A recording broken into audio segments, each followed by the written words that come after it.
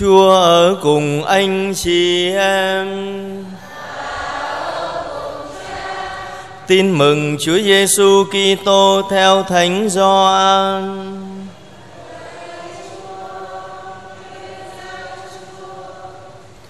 Vừa tảng sáng người trở lại. Khi ấy Đức Giêsu đến núi Ô Liu, vừa tảng sáng người trở lại đền thờ, toàn dân đến với người, người ngồi xuống giảng dạy họ. Lúc đó các kinh sư và người Pharisêu dẫn đến trước mặt Đức Giêsu một phụ nữ bị bắt gặp đang ngoại tình. Họ để chị ta đứng ở giữa rồi nói với người: "Thưa thầy, người đàn bà này bị bắt quả tang đang ngoại tình. Trong sách luật, ông Môsê truyền cho chúng tôi phải ném đá hạng đàn bà đó. Còn thầy, thầy nghĩ sao?" Họ nói thế nhằm thử người để có bằng cớ tố cáo người. Nhưng Đức Giêsu cúi xuống lấy ngón tay viết trên đất. Vì họ cứ hỏi mãi, nên người ngẩng lên và bảo họ: Ai trong các ông sạch tội thì cứ việc lấy đá mà ném trước đi. Rồi người lại cúi xuống viết trên đất.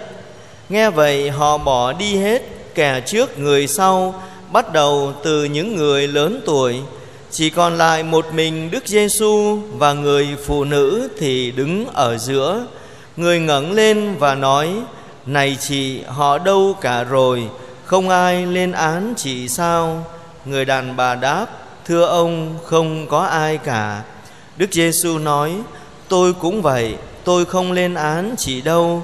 Thôi chị cứ về đi và từ nay đừng phạm tội nữa. Đó là lời chúa.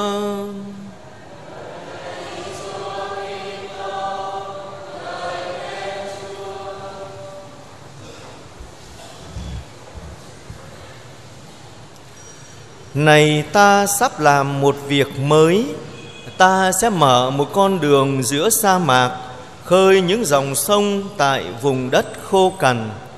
Kính thưa quý ông bà, anh chị em, trong bài đọc số 1, ngôn sứ Isaiah nói Thiên Chúa sẽ mở một con đường mới. Ở giữa sa mạc làm sao lại có thể mở đường được? Rồi những khơi lại những dòng sông ở vùng đất khô cằn. Đây là hình ảnh để cho chúng ta có thể nói về một vị Thiên Chúa muốn làm mới mọi sự bằng lòng thương xót của người câu chuyện người phụ nữ ngoại tình hôm nay đã có một con đường mới Chúa Giêsu mở một con đường mới cho bà để bà có thể có khả năng hoán cải và trở về đường ngay nẻo chính.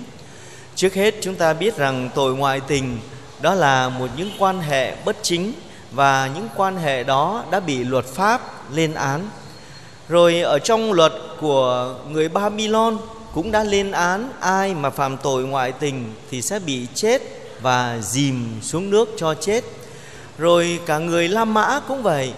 Và nói chung à, tất cả hầu như tất cả các dân tộc thì đều có luật về ai đã phạm tội ngoại tình thì sẽ bị kết án và kết án cho đến chết tức là tử hình nhưng mà đằng khác chúng ta lại biết rằng có một số những dân tộc thì lại chấp nhận như là, gọi là đổi vợ, đổi chồng, như là một sự, gọi là hiếu khách.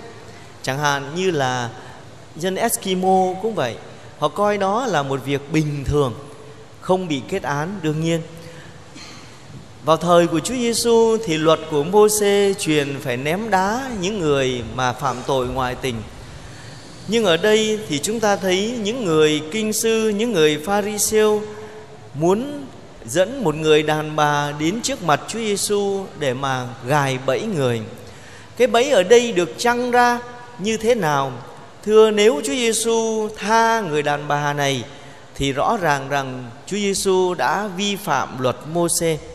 Và như vậy thì người không phải là một rabbi thực thụ. Rồi nếu Chúa Giêsu án người đàn bà này thì sẽ có. Những người sẽ cười chê bởi vì những điều mà Chúa Giêsu đã giảng dạy về lòng thương xót, về nhân từ, bây giờ nó trở thành con số không.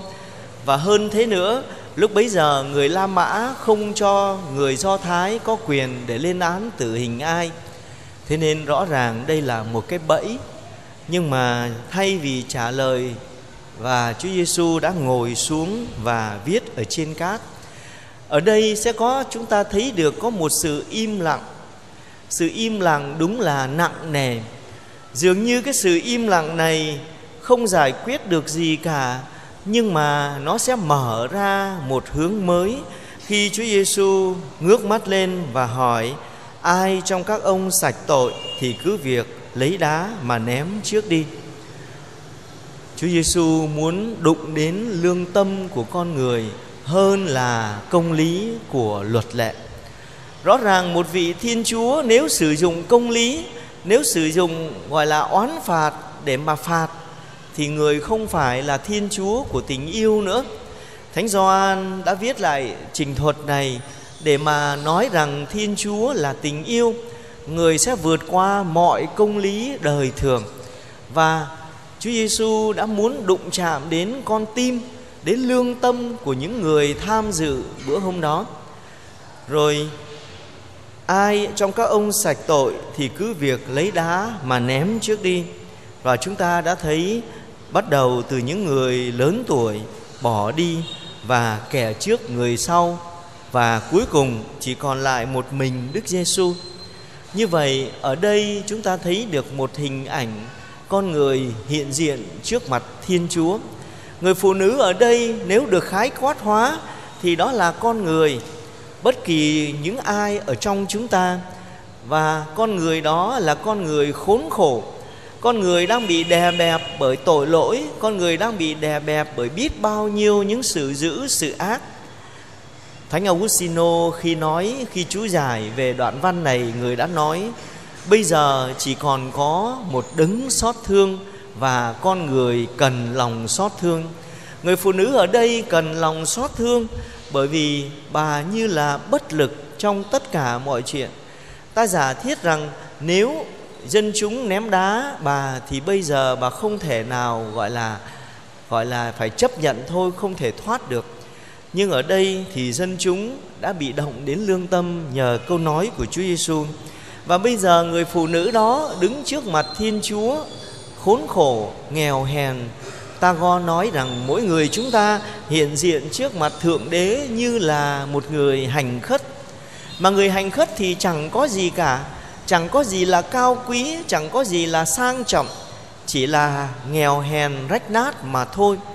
Hình ảnh đó không phải chỉ là về mặt thể lý nhưng mà về mọi mặt và nhất là về tâm hồn của con người.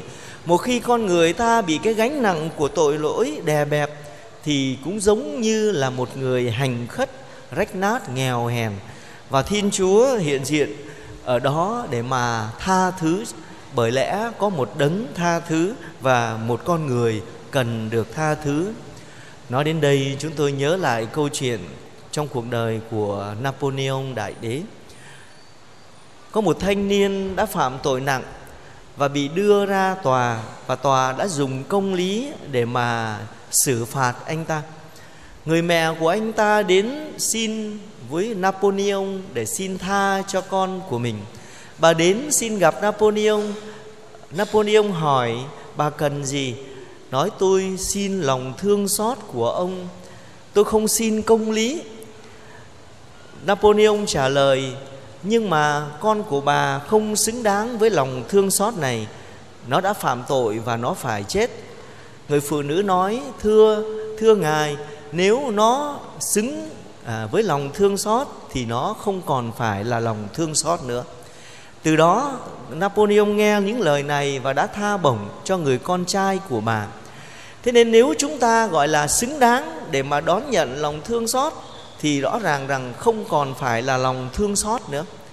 Nhưng mà thiên chúa đã vượt qua tất cả những giới hạn, tất cả những suy nghĩ của con người. Cũng giống như là một người cha, một khi đã cho đứa con bất kỳ điều gì đó, thì theo suy nghĩ của ông hơn là theo sự xứng đáng của người con. Và chúng ta đã được nghe câu chuyện người con hoang đàng, chúng ta đã được nghe những câu chuyện Chúa Giêsu chữa lành và tha thứ cho con người trong mọi hoàn cảnh.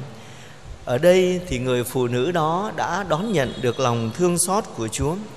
Rồi Chúa Giêsu nói: "Thôi chị cứ về đi và từ nay đừng phạm tội nữa." Chúng ta thấy Chúa Giêsu và ngay cả chúng ta cũng được mời gọi để mà phân biệt giữa tội và người có tội. Tội lỗi thì luôn luôn đáng bị trừng phạt, đáng ghét, không được chấp nhận.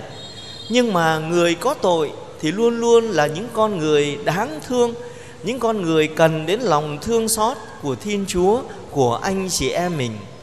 Có lẽ chúng ta sẽ thấy được rằng trong đời sống của chúng ta ngày hôm nay nếu không có sự tử tế thì xem ra mọi chuyện sẽ bị đảo ngược cả cách đây ít lâu có lẽ hơn kém một chục năm hơn nữa khoảng 15 năm chi đó ở thành phố có chiếu một bộ phim là chuyện tử tế.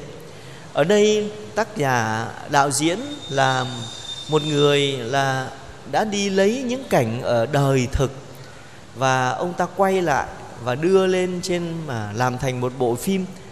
Chỉ muốn nói với người ta rằng con người mà không có lòng nhân thì chỉ là con thú mà đội cái à, lốt áo của con người mà thôi ông chỉ muốn nói một điểm như thế. Đó là lòng nhân. Lòng nhân đó là thương cảm, đó là thông cảm, đó là tha thứ, đó là hòa giải.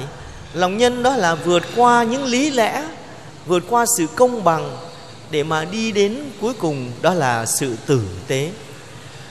Chúng tôi cũng đã từng được nghe ngày hôm nay, một khi con người ta không còn tử tế nữa, thì lương tâm sẽ bán rẻ hơn lương thực và chân lý, chân giò thì cùng một giá thôi. Bởi lẽ một khi, gọi là, nhân phẩm đã bị mất giá, thì mọi chuyện sẽ bị thay đổi cả. Thế nên hôm nay khi chúng ta được Chúa Giêsu tha thứ cho người phụ nữ, tội lỗi này cũng như là tha thứ cho tất cả chúng ta, để mở cho chúng ta cũng như người phụ nữ này một con đường ở phía trước. Người sắp quên đi quá khứ, người chỉ muốn tất cả mọi người chúng ta hướng về phía trước và một khi nó hướng về phía trước lao mình về phía trước thì lúc đó ta có cái cơ may để làm mới lại đời sống của mình bởi vì quá khứ sẽ bị quên đi tội lỗi dù lớn lao thế nào cũng được Thiên Chúa tha thứ. Thế nên lời mời gọi của mùa chay là Thiên Chúa mở cho chúng ta con đường và người mời gọi chúng ta bước lên con đường đó, quên đi quá khứ, hướng về phía trước và lúc đó ta mới cảm nhận được lòng thương xót, tha thứ của Thiên Chúa. Và một khi ta đã nhận được lòng thương xót và tha thứ của Thiên Chúa thì đến lượt ta cũng sẽ cố để mà tử tế với anh chị em mình. Từ tử tế ở đây mang hàm xúc nhiều ý nghĩa. Và một khi người ta chỉ lấy công lý lấy sự công bằng mà cư xử với nhau thôi thì rõ ràng dần già sẽ mất đi sự tử tế. Và nhất là để cho thiên chúa động chạm đến tâm hồn của mình lương tâm của mình thì lúc đó chúng ta mới có cơ may để mà thấy được ta cần bước lên một con đường mới con đường hướng về phía trước và đó là ý nghĩa của phụng vụ lời Chúa của ngày hôm nay. Xin Chúa cho tất cả chúng ta đã bước qua mùa chay rồi thì sẽ thấy đời sống của mình được đổi mới, bước lên một con đường mới, quên đi những quá khứ và bước vào, gọi là, một con đường mới cùng với Chúa Giêsu. Xin Chúa chúc lành cho những ngày mùa chay thánh của chúng ta. Amen.